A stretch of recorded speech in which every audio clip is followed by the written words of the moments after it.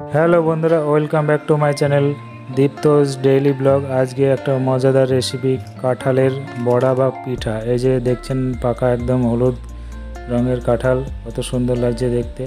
তো এই কাঁঠালের বীজ ছাড়িয়ে নিতে হবে এখন।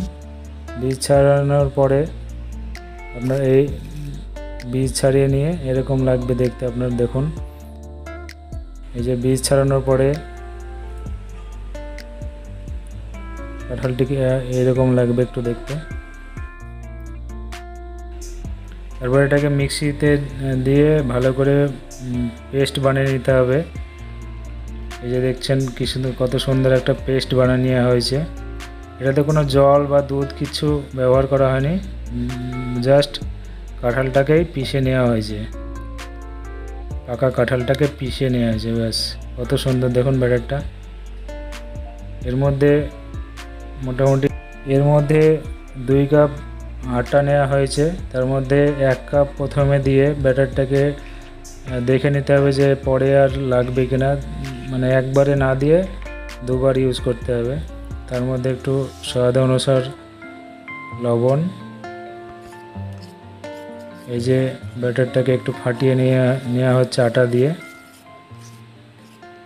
দেখছেন বন্ধুরা, ব্যাটারটাকে একটু ফাটানো হচ্ছে। এই যে রেসিপিটা বানানোর পরে দেখবেন কত সুন্দর লাগে খেতে। এই যে অল্প একটু ময়দা আরও লাগবে, সেই জন্য দেওয়া হচ্ছে আর একটু আটা। বাসের মধ্যে চিনি পাউডার যেটা আমরা মিক্সিতে ঘুরিয়ে নিয়ে এটা পাউডার টাইপের বানিয়ে যাতে গোটা চিনি দিলে যাতে দানা দানা থাকে, সেই জন্য এটা পাউডার দিয়ে এর উপরে সব বা মৌরি দেওয়া হলো। মৌরি দিয়ে আর একবার ফাটে, ফাটিয়ে নিতে হবে। এই যে মৌরি দিয়ে আমরা একবার ফাটিয়ে নিলাম এটাকে। ব্যাটারটা ঠিক এরকম একটু গাঢ় টাইপের হবে, যাতে তেলে দেওয়ার পর ব্যাটারটা ছড়িয়ে না যায়। একটু মোটা টাইপের হবে, দেখছেন বন্ধুরা কীরকম হয়েছে বাটারটা ঠিক এরকমই হবে। আর আপনারা চালের গুঁড়ো বা ময়দা ইউজ করবেন না। তাতে পকোড়াটা শক্ত হয়ে যাবে। তেল নেওয়া হলো কড়াইয়ে। সাদা তেল রিফাইন্ড তেল। তেলটা গরম করার পরে পকোড়া ছাড়া হবে।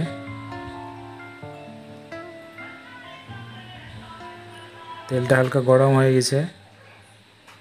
এবার ওই যে ব্যাটার থেকে ছোট ছোট পিঠা ছাড়বো এই তেলে।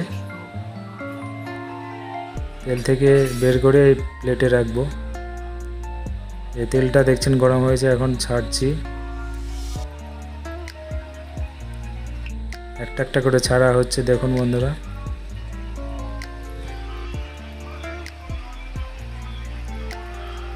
এই যে বন্ধুরা, দেখুন, এইভাবে ছাড়তে হবে ধীরে ধীরে, একটা একটা করে।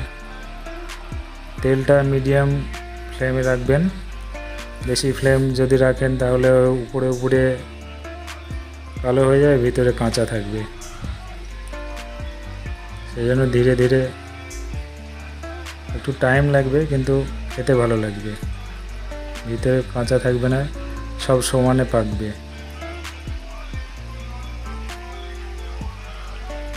এই যে বন্ধুরা, দেখুন, ছাড়া হয়ে গেল তেলে। এই যে একটু পরে পাল্টি করে দেওয়া হচ্ছে একবার। উল্টে পাল্টে দেওয়া হচ্ছে।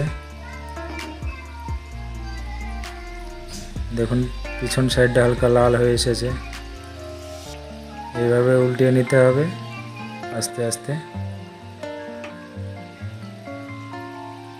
দেখবেন বন্ধুরা, ঘরে বানাবেন রেসিপিটা এখন কাঁঠালের সিজন বেশ সুন্দর লাগবে খেতে।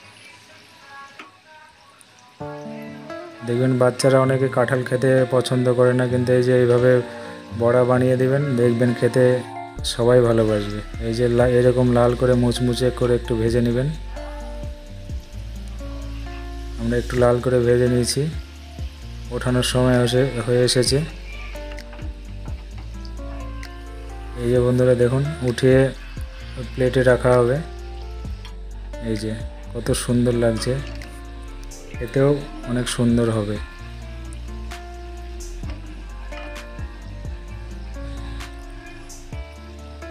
দেখুন, লাল লাল করে ভেজে নেওয়া হলো।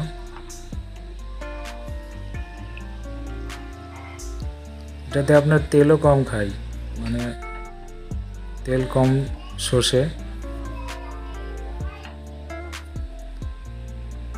এই যে দেখুন বন্ধুরা, কত সুন্দর দেখাচ্ছে।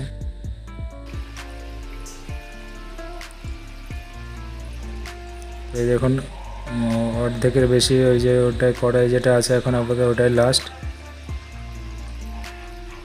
এটাই লাস্ট চার। এই যে লাস্ট এটা উঠিয়ে নেওয়া হবে এখন। তো বন্ধুরা, যদি এই ভিডিওটা ভালো লেগে থাকে সাবস্ক্রাইব জরুর করবেন আর শেয়ার করবেন।